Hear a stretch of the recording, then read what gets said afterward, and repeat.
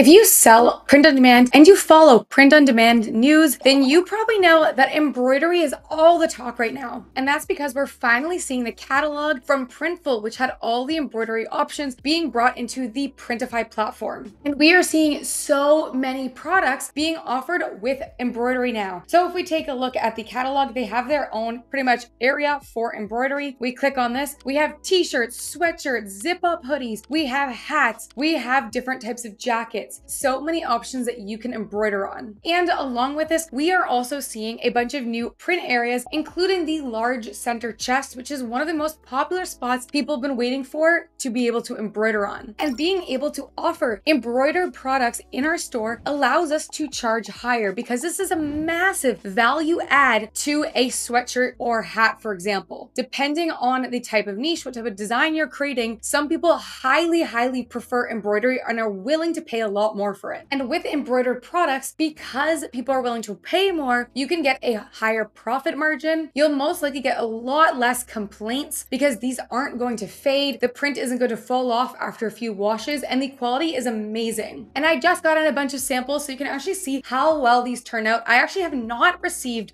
one bad sample of an embroidered product yet. So I have this one that I created, a custom Lake Life zip up sweatshirt, which I love because I am a zip up girl. I got the Comfort Colors text right here. Looks amazing. I've got my hat here, says Papa. So three different products, three different complete different fabrics, but every design that I got has turned out wonderful. But the number one question I get from people when talking about embroidery is how do I create mock-ups for embroidered products without having to buy a sample of each one because that is going to cost you so much money. And for a long time in the past, I was using this file that I created, which I'm going to share with you at the end as well, which you might have heard me speak about on how I create embroidered products. But I just discovered a brand new way, which I think makes these look the most realistic in any way that I have seen online. And I have done a lot of researching in how to make realistic embroidered mockups. So if you do want to use this method, you are going to need to use Kittl. If you want 25% all plans, I have that linked in my description and at the top of the comments. So say this is my design here. And I want you to keep in mind that when you're designing for embroidery, that your designs should be very simple. Your designs should be very limited colors. When I'm creating embroidered products, I don't think I've ever really made ones with more than one color. I usually keep them flat just so I know that these are going to stitch well because designing for embroidery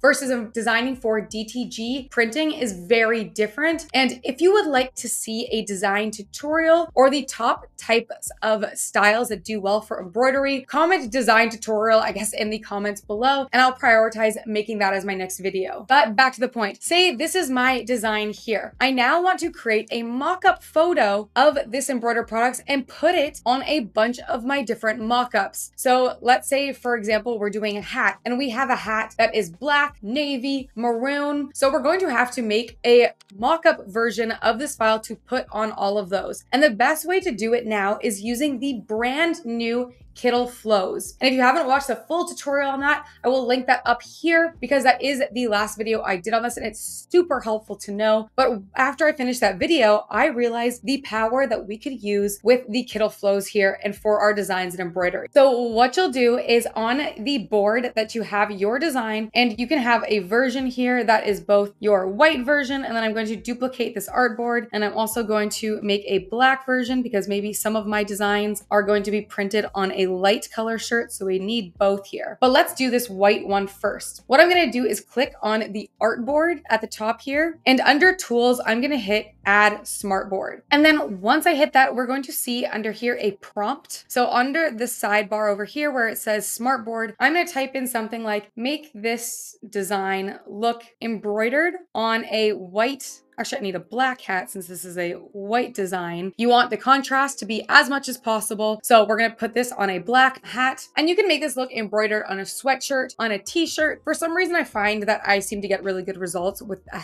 hat, but it really doesn't matter what you do because you're gonna see how we're going to use this and it might not be the way that you're thinking. And here's the result we got on this one. But you might be wondering, okay, this is on a black hat, but what if I actually want this design on sweatshirts? If I want this on t-shirts, for example, example. Well, we're actually not gonna be using this exact file, but what we're gonna be doing so that we can make all of our mockups in every single color for this design is we're going to zoom in. I'm gonna take a screenshot around this design here. Then I'm going to create a new artboard. So you can hit A or on the bottom here, you can just grab the artboard button. I usually just hit A because I am a shortcut girl. I'm going to draw out my size here. Because I usually like my mockups to be around 2000 at least by 2000, so that it fits on Etsy. I'm gonna make it out to this size. And then what I'm gonna do is bring in that screenshot. And now, first of all, I want you to see how detailed this is. If you scroll in here, you're able to see each and every individual stitch, even where things turn, it includes the stitching on how it's likely going to actually print. So this is super detailed. You can see every single stitch. But the next thing that we're gonna do is we're just going to remove background. And now we have this file here, which we can actually bring in the mockups of our exact product so that we're within Etsy's guidelines. And then we can keep reusing our same mockups that are doing well for us, but using this stitching instead of our file. And now I can bring this onto my mockups. So we have right here, I put this on a different hat mockup because if I have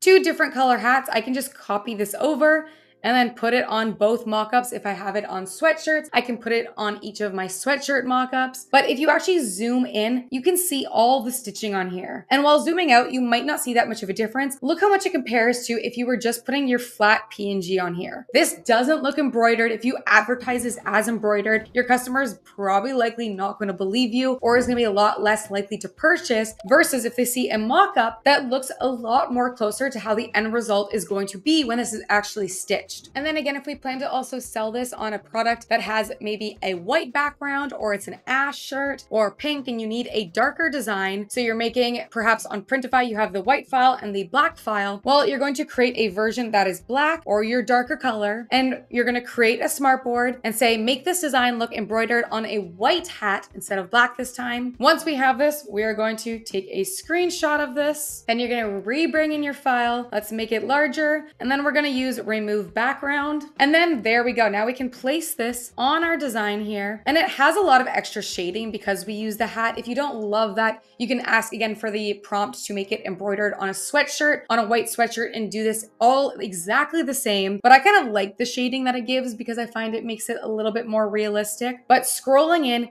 you can see depth to this. You're able to see it come off the design. So it actually makes it look 3D, like it's actually going to look when it's printed. And then scrolling out, Again, it just looks like it's actually going to be embroidered than it would if you just used your regular file and then just said that it was embroidered. So there are some limitations to this, unfortunately. If you have a more complex design, if maybe you have a lot of swirls in your text, the more complex the design is, sometimes it seems that the AI just can't pick up every single part of the design. The majority of mine have been absolutely fine because my designs are usually very, very, very simple, like I've said, when it comes to embroidered products. But if you have a more difficult design that you're trying to do, you might encounter some complications, in which case you can use my embroidery file and use that to create your mockups instead. So this embroidery file is the free way to do this. So I actually will link in the description how to get this file. I highly recommend watching the full video tutorial on how to use it. And I will also link my full YouTube video up next on how to use this. But if you take a look, you actually use your exact file. So you bring in your file here. It will not change the design. Ignore it going crazy. It does that when I screen share for some reason. And then coming back, you can see that it adds what looks like a stitching to it. It makes it look like it's coming out of the page more. But what it doesn't pick up is each individual thread along the corners, which the Photopea does do better at that. And same with the cross stitching. So where things cross, that type of effect of it looking like the stitching is changing which is how an actual embroidery thing would print. It doesn't have that, but I still stand by that this is an awesome free alternative should the Kittl one not work for you because perhaps your design is just a little bit too complicated. And so you can see the examples here. This first one here is the version of using my file, the free one here. So you can see it adds a stitching. It does look more off the page. The second version here, we have the Kittl version, which I just noticed the J's a little off. If you have anything funny, just redo the prompt and it's going to retry it. I actually didn't catch that earlier on until just now, but I would just re-roll it and usually you can get it to get very similar to your exact design. But if you can't, again, that's in the case you can use this file here. But the most realistic one is the Kittl one here. You can see each individual stitch, the way the stitching crosses over when it switches letters, for example. And then we have the option if you just did nothing, which I don't think is going to sell your embroidery that well. And then I also have these two designs here. This one, which was all of a kind of text one. And if we scroll up, I want to see how it would handle icons as well. And taking a look at this one, I think it turns out awesome. So it is very rare that these do turn out bad. You have to have a very kind of font heavy, like crazy fonts for this to turn out pretty badly. But do just double check your design and what comes out to make sure nothing has gone wonky when actually converting it to embroidery because it does happen. Just generate again if it is kind of wonky until you're happy with it. This one really, I've usually been able to get them off of the first one. Sometimes I've had to roll it two or three times, but even this one, which is very heavy in design and different elements,